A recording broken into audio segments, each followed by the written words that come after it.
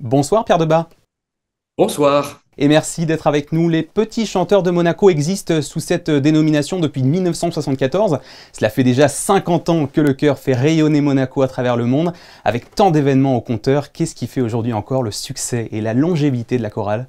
Écoutez, je crois que c'est sa manière d'être. Tout simplement, on pourrait dire presque que depuis 50 ans, rien n'a changé dans le fonctionnement des petits chanteurs et c'est cette longévité, ce mode de fonctionnement immuable qui fidélise et qui est une institutionnelle en fait. Et je me retrouve là en tournée de concert au Canada comme j'étais avec eux il y a 17 ans, 25 ans ou, ou 30 ans. J'ai l'impression de revivre progressivement euh, le, même type d'aventure. Alors vous avez visité déjà plus de 40 pays, vous êtes cette fois au Canada, euh, à Montréal, mm. si c'est bien ça, si je ne me trompe pas. Absolument. Quel est votre, votre programme?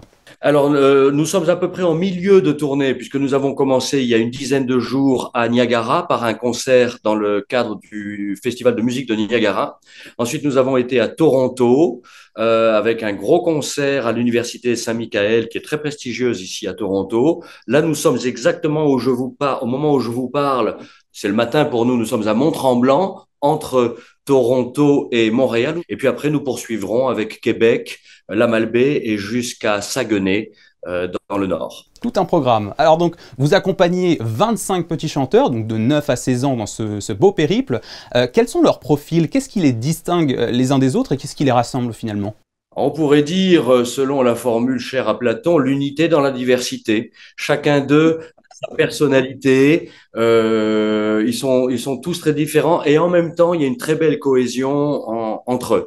Euh, l'amour de la musique, l'amour de l'amitié, des moments vécus, de partage. Euh, qu'ils aient 9 ans, 10 ans ou 16 ans, il y a une parfaite cohésion entre eux, qu'ils soient dans leur vie euh, euh, de découverte. Ils ont visité beaucoup de musées, les chutes du Niagara. Enfin voilà, euh, je leur fais faire toujours. C'est très important qu'ils découvrent vraiment les pays. Et en même temps, dès qu'ils sont sur scène, on sent cette, cette cohésion totale entre eux.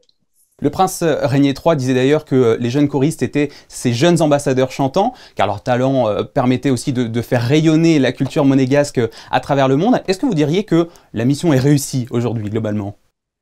Ah, je pense, c'est vrai que le prince Régnier honorait, et j'ai beaucoup de, témoignages, de lettres de sa part, où il terminait souvent par une petite formule manuscrite en parlant de ses petits ambassadeurs chantants. C'était très joli d'ailleurs.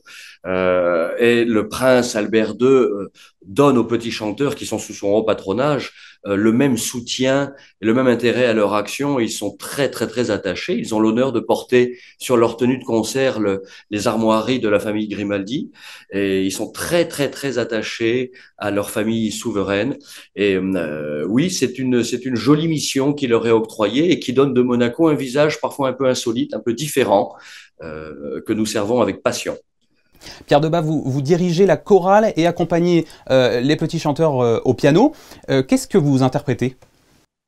Alors, ils ont un programme essentiellement de musique religieuse qui va de Forêt, Gounod, Mendelssohn, notamment pour les grands compositeurs, Bach, bien sûr, et aussi quelques chansons françaises. Et en cette année du 50e anniversaire des Petits Chanteurs de Monaco, nous continuons à donner, comme nous l'avons fait l'an dernier euh, dans le, euh, pour les concerts aux États-Unis du centenaire de la naissance du prince Régnier, nous continuons à donner comme un petit message pour lui le campanile de Saint-Nicolas, ce chant traditionnel de Monaco que auquel le prince était très attaché. Et comment se tient, euh, si j'ose dire, une chorale de cette ampleur entre les répétitions, les trajets, l'organisation des concerts, les décalages horaires? J'imagine que ça ne doit pas être une mince affaire. Non, non, ça c'est sûr. Il faut les préparer. Il faut toujours attendre deux, trois jours avant le premier concert qui soit bien stabilisé, parce qu'un concert est un effort physique important. Alors là, à Niagara, bon, ils ont profité des chutes, euh, de, de, de, tout ce qu'il y a à voir là-bas. Et euh, mais là, on a attaqué un petit peu plus tôt. Au bout du deuxième jour, ils ont donné leur premier concert qui s'est très très bien passé. D'ailleurs, j'ai la chance cette année d'avoir une troupe de de très bon niveau artistique avec une très belle stabilité. Et c'est vrai que c'est beaucoup beaucoup de travail d'organisation. Ce sont des tournées de concerts de trois semaines. Euh, il y a beaucoup de logistique derrière et voilà, ben, avec le soutien de l'ambassade de Monaco aux États-Unis et au Canada et nos consulats généraux de Monaco à Toronto et à Montréal, euh, tout ça se met en place et, s'emboîte euh, parfaitement bien. Et alors après cette tournée, qu'est-ce qui attend les petits chanteurs de Monaco?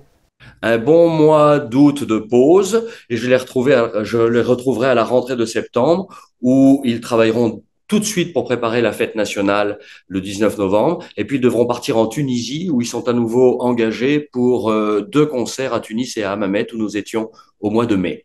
Pierre Debat, maître de chapelle du Palais Princier de la cathédrale de Monaco et directeur des Petits Chanteurs de Monaco, merci beaucoup d'avoir accepté notre invitation pour nous parler de la tournée du chœur au Canada qui se poursuit donc jusqu'au 23 juillet. Merci à vous.